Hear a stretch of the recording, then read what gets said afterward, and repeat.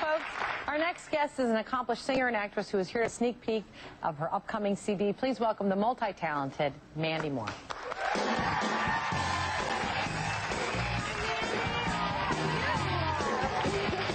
to meet you. Nice to meet you too. Very nice. All right, I'm going to get out of the way. Congratulations on your engagement. Thank you. Very exciting, Ryan. And I know you don't talk about your personal life. I totally respect that because I would feel the exact same way. But I'm, I'm really excited for you. Thank you. I appreciate it. I'm very happy. Good for you. You've earned your happiness. it's Thank you. important. It's nice to find somebody who has his own thing going on, share your happiness together. Absolutely. That's what it's all about. It really is. It is. It's, it's true. Two completes make one complete, but not half and half. I agree. You started so young. You were 14.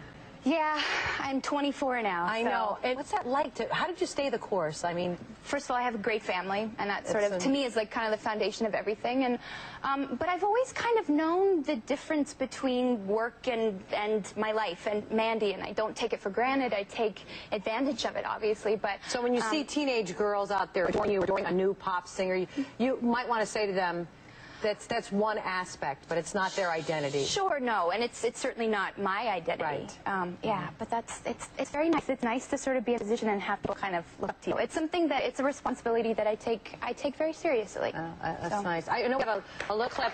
Yeah, right. Uh, uh, of you in the recording studio. Yeah, right? I just finished um, a record that's not coming out until May, but it's called Amanda Leigh, and um, Oh, that's nice. I took yeah, that's my name actually. That's your I've real always name? I've always been Mandy, but Amanda Leigh is my real name, my full name. oh, that's very nice. Um, which is funny because I've, I've called the record this, and I'm never Amanda unless I'm in trouble. And if I'm Amanda Leigh, then I'm like really, really in trouble. so I guess I'm like trying to take the name back and change the connotation for myself. Like it, it'll have a positive meaning now. That's nice. And But- this is you got. You guys are doing this. You have a friend has a recording studio. In Boston, yes, and we were in his house, in his basement for a month making this record, and So I, we- I wrote it all, and it's something I'm really proud of. But yes, you have a little sneak peek of Yes, me it's recording really. now. This is really a part of you Some- creatively. yeah, Take yeah. Monday, Tuesday, Wednesday,